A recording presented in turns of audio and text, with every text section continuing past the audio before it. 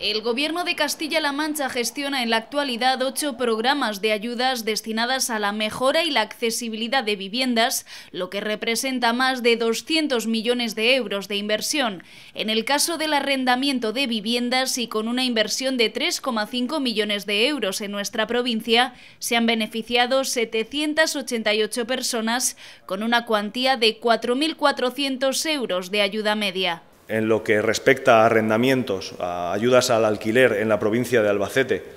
hemos puesto en marcha 20 millones de euros, más de 20 millones de euros en, en, ayudas. En lo que respecta a accesibilidad, casi 30 millones de euros en la provincia de Albacete, como digo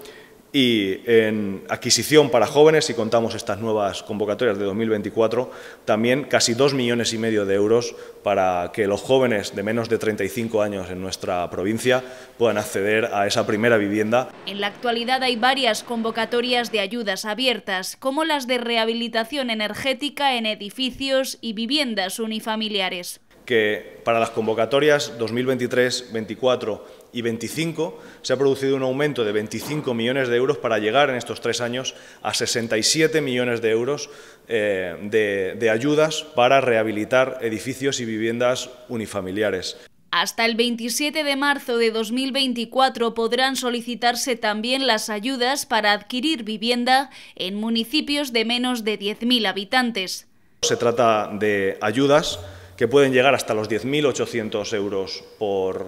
por persona, por, por, vivienda, perdón, y tiene una serie de requisitos. El precio máximo de compra de esta vivienda no puede, tener más, no puede ser de más de 120.000 euros. En el paquete de ayudas previsto también se contemplan subvenciones para la elaboración y actualización del libro del edificio.